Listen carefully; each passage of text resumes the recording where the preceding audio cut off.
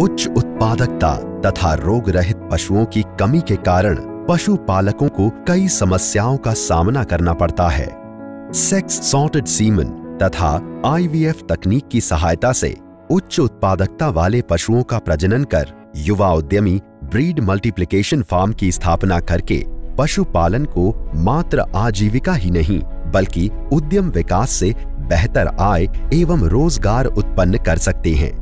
करीबन 10 साल पहले से हम, हमारे पास जो गायें थी, उसको मैंने बताया ट्रेडिशनल और साइंटिफिक तरीके से दोनों का समावेश करके और एक अच्छी चीज़ डेवलप की है। जिस बुल का अच्छा काउंट है, अच्छे नंबर्स हैं, उसका मिल्क रिकॉर्ड हमें मिलता है। उससे हम एआई करवाते हैं एआई करके हम जो बेस्ट जेनेटिकली जो डेवलप कर सकते हैं, उसको डेवलप करते हैं और नस्ल सुधार का कार्य होता है इस तरह से।